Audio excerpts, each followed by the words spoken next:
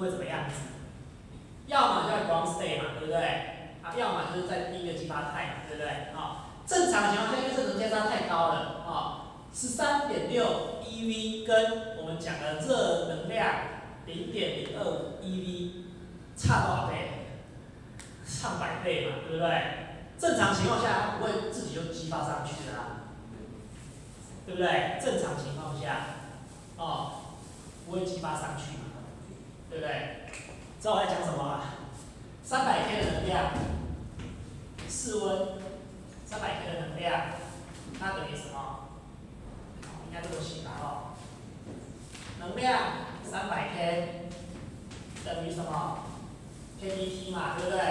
等于是一点三八一乘以十的负二十三，再乘上三百嘛，对不对？这等于多少？三乘上这个东西，三三得九嘛，但是这有除八，所以大概是四嘛。对，不要再数哦。所以大概是四乘以十的负十九嘛，对不对？是不是？这有两个零嘛？呃，错了错了，怎么会十九？呃，扣一个零，两个零嘛，对不对？负二十一嘛，对不对？那这个单位是什么？焦耳，对不对？那我们拿除上一点六乘以十的负十九嘛，是不是？所以这两个消一消变成什么？负二嘛，对不对？负二嘛，那一点六跟四不到三嘛，二点多嘛，是二点多倍啊，所以实际上的值大概没有记错的话是二十五点八啦，m 一，m 就是十的负三，大概是零点零二五嘛，对不对？那这个是说十三点六，十三点六跟零点零二五差多少倍？这三个零，对不对？消掉。一二三二十五，二十五的话，四五五就剩下一百六嘛，对不对？大概五百多倍嘛，差八倍嘛，对不对？正常的情况下是不可能会激发的嘛，是不是？可以理解吗？哦，好。所以呢，我们的排列方程呢，好，虽然说不可以激发，但是我们班第一项还是会写的哈。所以 z 大概等于 G 零加上 G y 以什么要负西塔一除以 t，那西塔一是什么？就是这个这个能阶差除以 k 嘛，跟我们前面定义一样，上面是能量，下面是除以波兹曼常数。啊，好啦，那 G 零跟 G y 啊都是什么？啊 G G 零就是 ground state 嘛，啊啊 G y 呢是第一个激发态嘛，对不对？啊，好，那这个这两个派呢，这两个派呢，因为上面这个派能量实在太高了，所以基本上我连这个派都不会出现。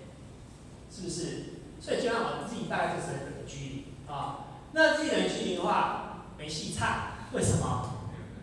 它是常数嘛，你怎么去微分都是死嘛，对不对？所以呢，基本上这个在室温下不用去考虑这件事情啊，除非你到了太阳，对不对？到了太阳这就很重要了，对不对？太阳的温度百万度嘛，表面有百万度核心有三亿度，对不对？啊，这个就要考虑了啊。所以电子激发我们就给它，好，好，所以四种激发都讲完了，有没有问题？哪四种？平移的、振动、转动，还有电子激发，对不对？四种都讲完了啊。那所以讲完了呢，我们可以好好来讲这个双原子分子它真正的比热应该是什么样子啊？好，那所以双原子分子的比热啊，首先来看啊。假设我们把所有的这些比热啊，哈，冰红比热哈，水温度还是把它全部把它加起来啊，加起来，那么比热应该怎么样？Cv 乘上 Cv 就是这个平移的比热容，加上 Cv 的什么转动的比热容，加上 Cv 的振动比热容，啊，本来应该加个 Cv 的电子，电子不要管它，那太高了就管它，就管这样就好了，啊，就这三个，啊。OK，好，那考虑这三个之后呢，我们就把它前面算式加起来哈，平移二分之三 K，这个没有问题啊。那这个转动啊，因为我们现在讲的是室温嘛，所以是用 NK 来代就可以了啊。振动呢，振动我们要写它这个式子，为什么？我们来看看这个表，你看哦，双原子分子的振动的特征温度六千多、两千多、三千多、四千多，对不对？这都非常非常高啊。高的不得了哦。这温度其实很多都已经解离了。如果真的到这个温度的话哦，所以呃，对忘了讲一点哈，这个温度是想象的一个温度，就是说它的能量相对于温度的话大概是这么高，并不表示它要出来的温度哦。了解意思吗？我们在物理上有时候很喜欢用温度来代表你的能量，对不对？比如说我们常会说，这个大强子队长常说，我们要模拟宇宙创生一百亿度的温度。那一百亿度的温度，事实上你换成对一颗电子或者对一颗质来说，它能量很低呀，它的能量是很低的，它可能连那个一个粒焦耳都不到，对不对？但是把一个粒焦耳的能量灌在一个电子上面，就很大了哦，对不对？那它相当，它得到这个动能，你把它换成除以 Kelvin 的温度的话，它可能是几亿度。所以为什么它加速电子啊去做对撞，然后说这个对撞会等于宇宙创生时候的一百亿度的温度，就是这样来的，了解意思吗？就是这个式子来的。啊，你的 kT 等于二分之一 m v 平方。啊，你加速的时候不要忘记还有相对论效应，因为你加到很快的速度是趋近光速，对不对？假设在一百亿度，一百亿度，一百亿度大概怎么样？一百亿度是十的十次方，对不对？十的十次方吧，一百亿度，二十百千万十万百万千万亿十亿十一次方，对对对，十一次方嘛，对不对？对不对？波兹曼常数十的负二十三嘛，对不对？乘起来大概是多少？十的负十一次方嘛，对不对？大概是焦耳嘛，对不对？好，能量，假设我们说以电子来看，哦，质子好了，加速，我们通常是加速氢氢原子嘛，氢原子是一颗质子嘛，对不对？因为氢离子，氢离子是没有电子的氢嘛，是个质子嘛，对不对？只要到一点六乘以十的，一点六七，乘以十的多少？负二十七次方公斤嘛，对不对？啊，然后呢，这质量嘛，乘上二分之一嘛，对不对？然后再乘以平方嘛，对不对？啊啊，就十二十七就好了呀。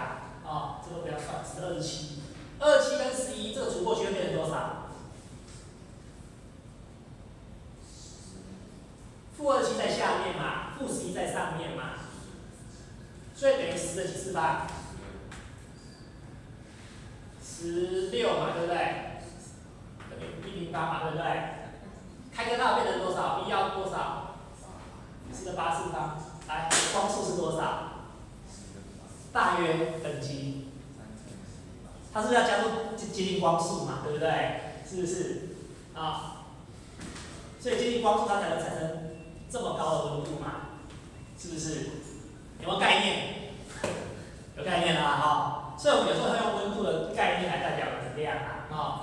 那它只是概念，并不是说它真的真的要加到这个温度哦，哦。哎，这样说法也不太对了，哈。就是它就是一种一种能量的单位而已，啊。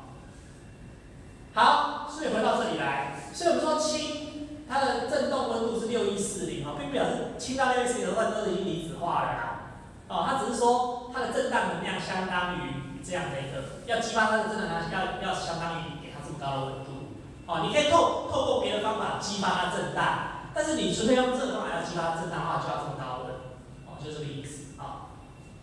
呃，好，所以呢，我们的振荡呢就要写成这个式，你不能用这个趋近的式，因为室温对转动来说很高，对不对？因为转动都只有十几度嘛，即使是氢也要八十五，对不对？八十五 K 嘛。所以呢，它在室温下，它一定是它的 T 甚大，呃 T 甚大是它趋近值啊。那移动也是啊。好，那振动是这样子啊。所以把这三个式子呢，把它加起来整理一下，N K 二分之三 N K，所以我们把 N K 都提出去，所以一加二分之三是二分之五啊。后面造型，对不对？就长成这个样子。这样有没有问题？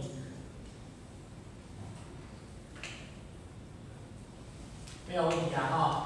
OK，好，所以呢，假设我们这个这个系统呢，哈，在低温的情况下，哈，刚刚低温情况下，前面两个都不会激，然后这个这两个都不会激发嘛，对不对？所以我是要这样子嘛，对不对？好，那我的热热容呢，T T 就除掉，就是要这样子，啊。好，那温度增加的时候呢？下的 paper，我就会变前面那个第二项就激发了啊，第二项就激发，所以呢，双原子分子会变成二分之五，但是呢，振动膜呢还是会被激发，因为差太多了，三百 K 跟六千比起来就是不激发嘛，对不对？所以这样子的话呢，哈，哦，还是回来看这个式子哈，很低温只有这个激发，这个不激发，这个也不激发，对不对？当温度高于斯卡尔的，这个也激发，就是二分之五啊。那高于它要高于多少？大概只要几十 K 就可以激发它的啊。那在温度再更高呢？你要到五六千 K，所以一般室温是不会激发它的。所以为什么我们一般比这种双原子分子比较前这个式子？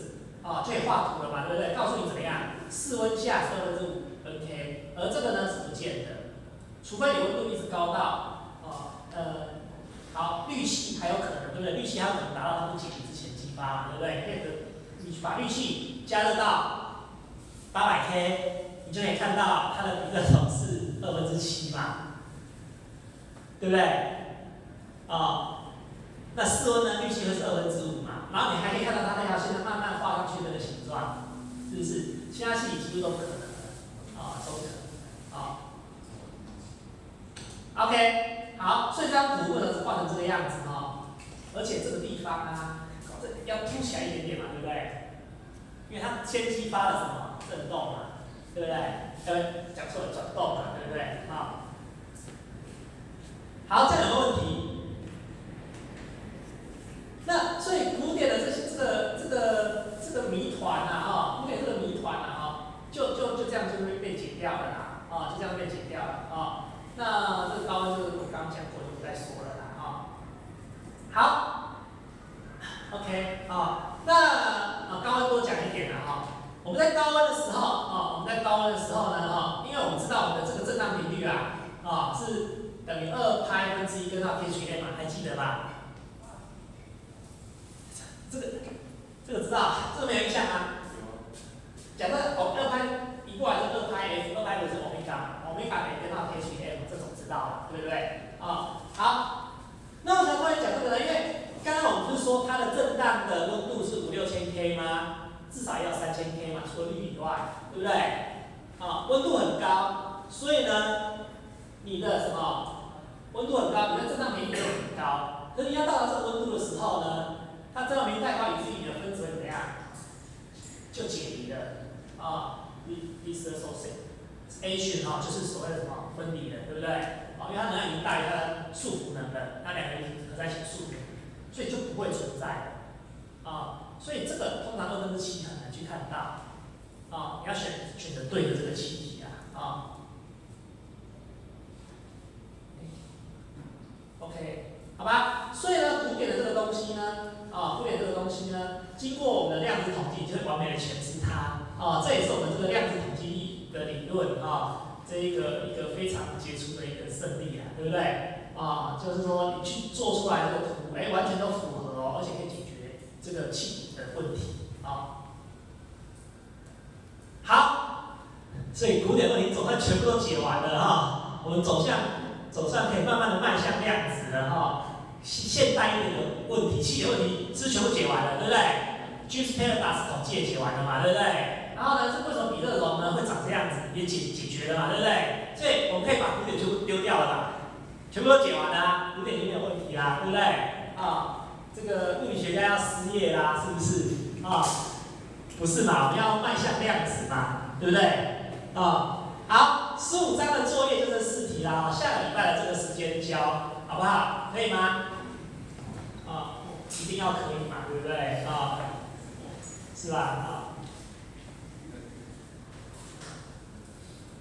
好，啊，剩下五分钟啊，不过我们讲讲个开头就好了啦，哈。你看嘛，气体解完了，那我们古典里头没有解释的一个问题是什么？啊，其实我们古典没有提到，那也是个古典问题呀，啊。气体的比热容可以算，那固体的呢？其实固体的比热容在一八八一几里头有写了哈，杜隆跟伯特两个人哈，这个杜隆跟这个 P.T. 啊，杜老师伯特这两个人呢，他有发现了一件事情，固体的比热啊都会趋近。近于三 r，哦，趋近于三 r。其实这个固体你们上课以前没有上过，但是这个还是发生在古典年代的事情啊。那为什么固体的比热都会趋向于三 r 呢？啊，那严格来讲应该写三 n r，好，n 是你的这个一个一个墨盒里头有的原子的总数，啊，三 n r。为什么有这边这个现象发生呢？其实它是一件很神奇的事情啊。所以呢，我们要讲的就是这个固体这个热容啊。好，所以固体热在在在我们的 condensed matter 凝态物里头是一个很重要的一件事情啊。那我们这些这个古典的动力理论呢啊，我们如果假设啊，加上这个统计的概念的话，统计跟量子的概念的话，我们可以来解释很多事情啊。那杜隆跟伯特啊，这样讲的，杜隆跟这啊，他们两个人呢哈，发现我们这个比热容哈，固体比热容大概呢会等于二点四乘上十的四次方，这个这个就是三 r，对不对？r 是八点三一四嘛，八三二十四就大概是这个值嘛，对不对？知道了啊？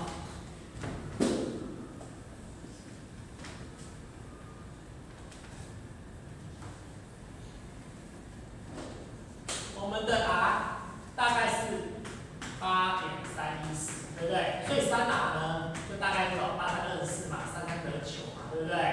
啊，大概是个值嘛，对不对？啊，好，他就说了哈，杜隆跟伯特发现固体的比热容 C 大概是这样子，啊，大概等于三 r 啊。来讲，应该写成三 n r 啊。什么叫三 n r 呢？什么叫三 n r？比如说举个例啊，今天我们讲铁。啊，铁它的比热容室温下当然会趋近于三 r 啊。那假设 Fe2O3 呢，它应该是三乘上它要五个元素，三乘上五乘上 r，好，以此类推。一种元素代表一个 r 嘛，对不对？这个一个摩尔里头有两个铁，三个氧嘛，对不对？所以会等于十五 r 嘛，好，以此类推。这样可以理解吗？啊，每次讲到这，我就想到我在博士论文考试的时候就被问的啦，啊，我去做了一个实验，啊，那个我的这个我的这个毕业论文的这个材料啊，是一个这个材料，大概是这样子的啊，说有些参杂就不管了，大概是这样子啊。那我去做实验的时候呢，啊，一 r 二 r。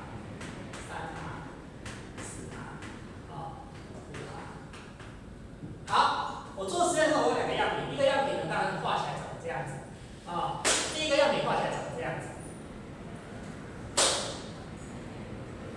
然后呢，我的口试委员哈，他是做比热的专家，他看到这张图，他第一个问题就是说，来，你知道什么叫做杜隆伯定律吗？啊，然后我看了一下图，我突然愣了一下，糟糕，他讲这个我已经知道，我错在哪里了？啊？在这里头，它有几个元素啊？五个元素，对不对？啊，对，这要乘三倍嘛，不好意思，就要乘三倍了啊，不好意思啊。好，这有五个元素啊，所以我理理论上我的在思维下我的趋向于十五 r，对不对？结果实验只画到只有这样子而已，表示我实验有出问题嘛，对不对？啊，后来回去检查，我的质量出错了。质量出错了哈，可是呢，这是一个最简单、最基本的问题。做完实验之后呢，你太埋首于什么？你的微观物理现象，你忘记了最基本的物理，对不对？最基本的物理告诉你说，你这个东西要趋向于三 n r，对不对？结果呢，你忘记了，就是画说，哎，实验这样就这样子啊，对不对？啊，结果呢，听那个老师好像在检查，哎，真的我质量出错了，啊，因为那个去去看实验记录哦。原来是什么？我称的呢，称中的滤纸的质量没有扣掉啊啊！所以即使是这么简单的物理，它也告诉你很多事情啊。所以你在博士班考试时候被电啊，你当然也会记得这件事情啊，对不对啊？所以呢，这里头很多很多地方可能老师没有跟你讲清楚。趋向于三啊是因为这一个原子哦。如果你有很多个原子的话，你要乘上 n 倍哦。哦，不是所有元素都趋向三 r。那如果是这样的话，你的问题就来了。为什么保利龙跟铁保持温度的能力不一样？你把一个热包子放在铁上，下就冷掉，对不对？你把一个热包子放在保利龙里头，你可能到天黑了都还不会冷，对不对？为什么？它比热跟热岛不一样啊，对不对？啊，那为什么保利龙可以 hold 住比较多的热？因为它有分子是高分子嘛，N 子很大嘛，对不对？要加热它一度或改变它一度很困难嘛，所以它可以保持热啊，是不是这样子啊？好吧，这是陈年往事哈，我们下次再来说哈。好，下课。